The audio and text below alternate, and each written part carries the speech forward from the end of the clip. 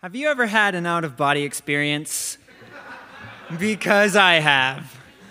Back in 2008, my home was impacted by the remnants of Hurricane Ike. The storm swept through Louisville, Kentucky, and caused a lot of damage.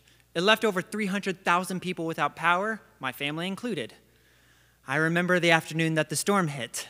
I was home alone. I saw an entire tree branch fall on my family's car. Our trampoline, patio furniture, and trash bins were just swept out of sight. So, what did this bored 10 year old without power do during the storm? Probably the smartest thing that any kid has ever done. With this kite from the Dollar Tree, I could have my own set of wings. With my feet on the ground, I'm a bird in flight with my fist holding tight to the string of my kite. 70 mile per hour winds were nothing on this 70 pound boy.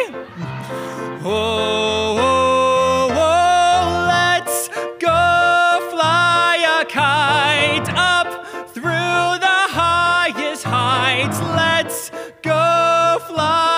kite. Those cars are soaring up through the atmosphere, up where the air is clear. Oh, let's go fly a kite. When I sent it flying up there, all at once I was lighter than air.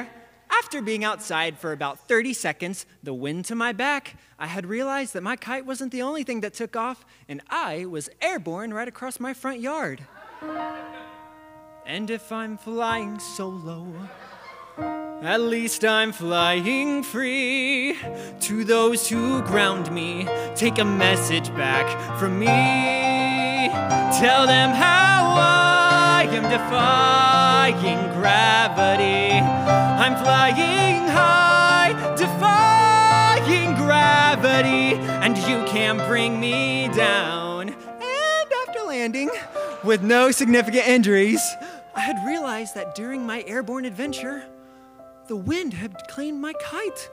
It sent it soaring up through the atmosphere, up where clear. Oh, Hurricane Ike took my kite.